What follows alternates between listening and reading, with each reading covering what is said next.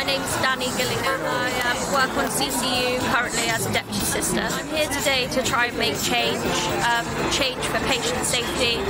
Um, nurses have been pushed, pushed to work way past their caseload of where they can provide actually decent care for patients, and also for the pay cut that we've received with inflation as well.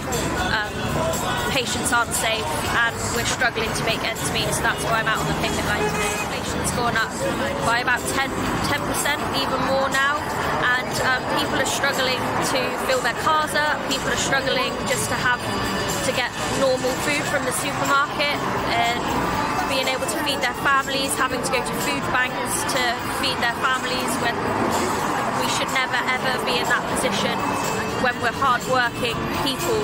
Yeah, they're putting in anti-strike clause so it enables people not to have to strike, which therefore deters people from striking anyway. And changes need to be made, and this is a way of the government controlling us to make us not strike and to take a meaningless, a meaningless pay rise of maybe 1.5% like they've just done in Wales. Anti-strike laws are stopping people that are hard-working people to be able to strike. Doesn't matter if you've been qualified a year, qualified six years, you should six years, you should still be able to strike. I would like to see a unified picket line of everyone together, everyone pulling together to be able to work as one. We all provide a service to the public to try and make it better for everybody, to try and make patients better, and to make them well again. So therefore, there should have been more concrete plans to be able to have a more unified strike today. I'm Very let down by the government. Um, they're funding war in Ukraine by sending tanks, and they're also um, there was lots of money that was invested in track and trace, and lots of millions of pounds invested in PPE that people never saw when on the pandemic.